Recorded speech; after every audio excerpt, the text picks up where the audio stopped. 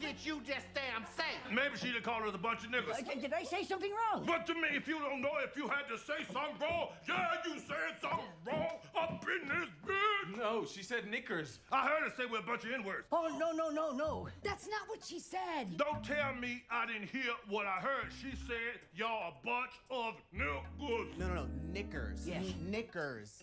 CK. Knickers. Don't be calling us no niggas up in this nigga. Hold on. It's knickers. Knicker. It's underwear. Yes, yes. It's knickers. These are knickers. Mm. Then she just damn flashed me. Actually, that almost turned me on a little bit. Mm. What it look like? It look like a nigga. She don't shave. It's black is black. Completely black.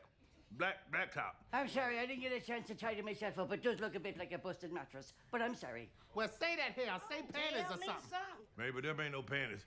Them some big ass draws.